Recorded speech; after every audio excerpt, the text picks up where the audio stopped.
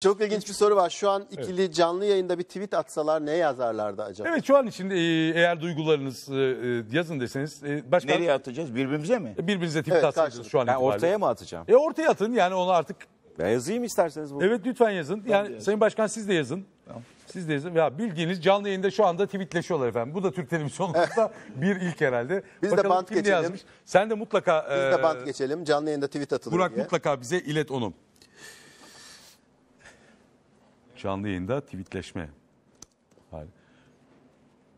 Başkanın böyle tweetli fotoğrafları var. Elimizde. Bakalım kim hızlı atacak? Bir de böyle bir şey bir gerilim Ben yaratıyor. attım bile. Ahmet Bey attı.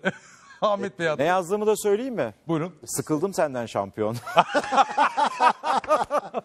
Bakalım buna yanıt ne gelecek?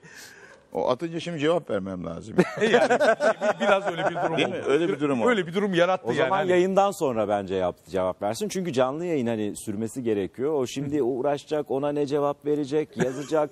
Danışman yok yanında. Eyvah eyvah ya. Böyle danışmanlar kadrosuyla mı hazırlanıyor Ahmet Hakan'a yanıtlar Sayın Başkan ama pek öyle gelmiyor galiba ya. Bildiğiniz kendisi çalışıyor şu anda. Canlı yayında Ahmet Hakan'a yanıt veriyor başkan ee, Twitter'la. Harikaymış. Merak eden baksın. Ben söylemiyorum. Ben ana sayfaya düşünce söyleyeceğim. Evet ana sayfayı düşünce hemen gördüm onda. D ve D konusunda herhalde vurmazsınız Ahmet Bey. Çünkü canlı yayındayız. Artık yani ee, bir takım imla bozuklukları olabilir. Bak oradan bakacak hemen kopya. Ne attı Burak geldi mi? Henüz gelmedi. Ee, Ahmet Hakan'ın ben senden sıkıldım şampiyon lafı var.